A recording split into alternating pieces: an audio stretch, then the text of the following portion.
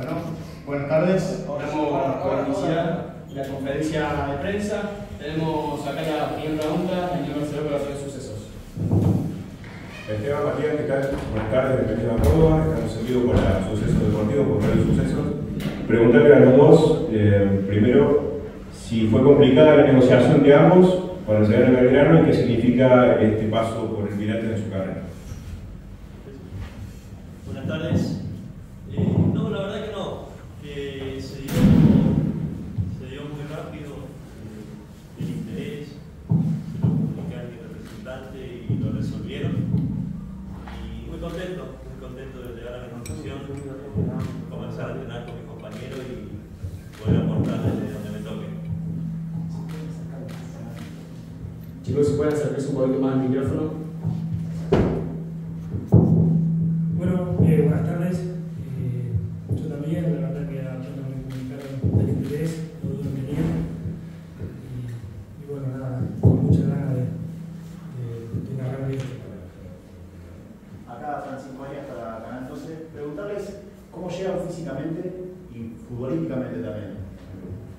Bien, bien, bien. El domingo me tocó jugar 45 del pasado.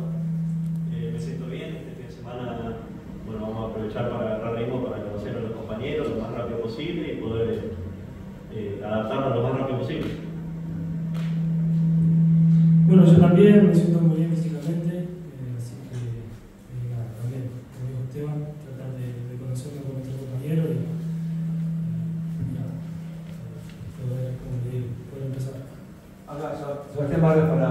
Continental, estamos en el programa La Cancha. Eh, para Esteban, ¿qué hizo tomar la decisión de venir a Córdoba, precisamente a Belgrano, teniendo en cuenta que tenías otras ofertas?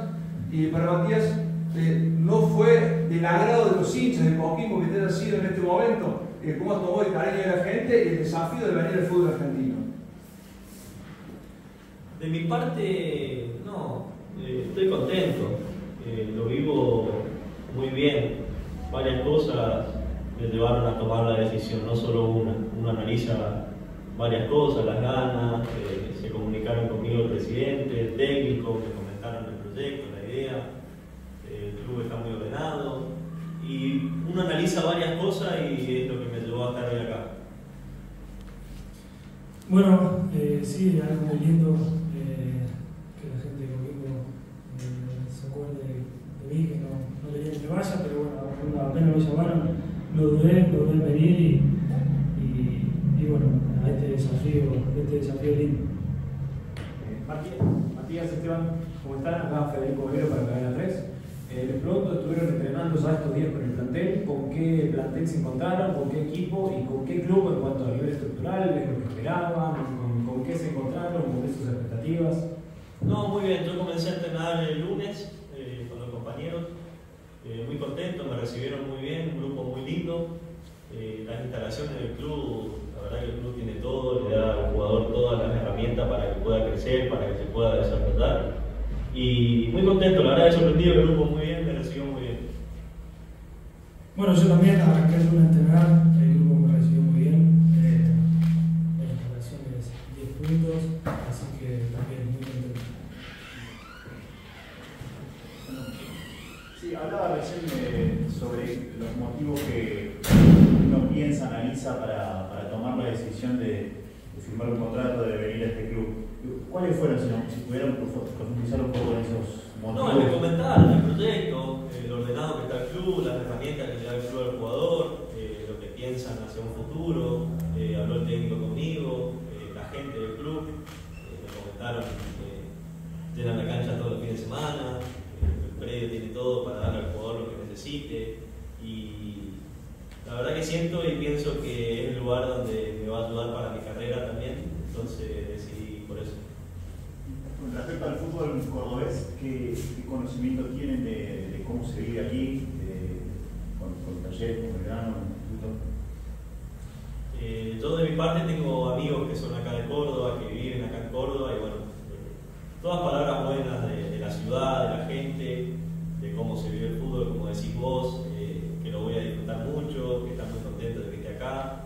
Y me recibieron también muy bien, no solo los compañeros, sino la gente acá de Córdoba, eh, dando soluciones a los problemas, ¿viste? cuando vos estás en una ciudad nueva, eh, pero todo tipo de soluciones para lo que necesites. Para Matías, no es la primera vez que Belgrano te quiere traer, ya anteriormente, no sé si se pusieron en contacto con o no anteriormente, pero sí era la idea que tuvieras en algún momento. Eh, preguntarte, en este esquema de Guillermo Farré, ¿en qué lugar del campo de juego te ves? Eh, sí, bueno, estaba al tanto a principio de año, eh, eso bueno, me el representante, no se lo terminó dando, pero gracias a Dios estoy acá club y con mucha. Eh, bueno, eh, eso hay que hablar con, con el técnico, yo puedo jugar donde él me necesite, obviamente que me siento más cómodo jugando libre en el medio, pero como te digo, donde el técnico me necesite, eh, ahí, ahí voy a estar. Esteban, eh, ¿qué crees que pasó en Boca? Que no pudiste rendir como derecho, quizás en Huracán, donde habías agarrado un muy buen nivel, y después en Boca quizás no pudiste mejorar lo mismo, incluso en la última parte no, no tuviste, no sumaste tantos minutos. No, la última parte fue cuando más minutos sumé. Después, bueno, Boca es un club muy grande que tiene una competencia muy grande con los compañeros. eh, que día a día, bueno, después el técnico es el que decide. Uno intenta estar siempre disponible, intenta sumar de- también donde le toque.